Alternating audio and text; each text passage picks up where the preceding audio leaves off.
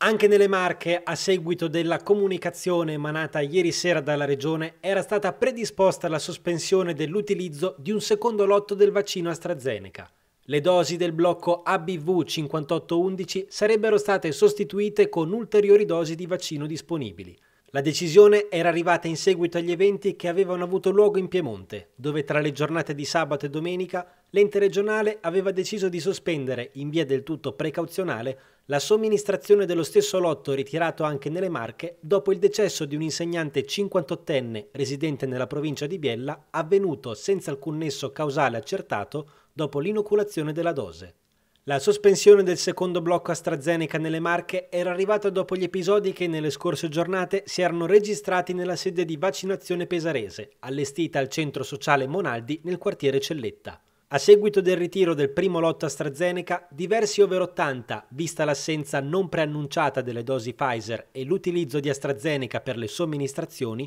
avevano deciso di annullare la prenotazione, rifiutando di ricevere l'inoculazione una volta giunti al Monaldi. Episodi che avevano creato indignazione tra i presenti e anche tra gli accompagnatori degli anziani, i quali avevano inoltre rimarcato una mancata comunicazione dell'assenza delle dosi Pfizer o Moderna, nonostante le prenotazioni regolarmente effettuate qualche settimana prima. Le rinunce dei diversi presenti avevano portato l'organizzazione a contattare persone iscritte ad una lista di riserva che avevano quindi ricevuto le dosi AstraZeneca rifiutate dai primi destinatari. Sulla vicenda erano poi intervenuti anche i sindacati degli anziani SP CGL, FNP CISL, WILP WIL Pesaro Urbino, sottolineando le disfunzioni registrate al centro Monaldi nelle ultime settimane, compresi gli episodi di lunga attesa rispetto agli orari di prenotazione fissati per gli over 80. Nel pomeriggio odierno, poi, l'Agenzia Italiana del Farmaco ha reso nota la decisione di estendere in via del tutto precauzionale e temporanea, in attesa di pronunciamenti dell'Agenzia Europea per i Medicinali, il divieto di utilizzo del vaccino AstraZeneca su tutto il territorio nazionale. Tale decisione, ha spiegato l'agenzia, è stata assunta in linea con analoghi provvedimenti adottati da altri paesi europei.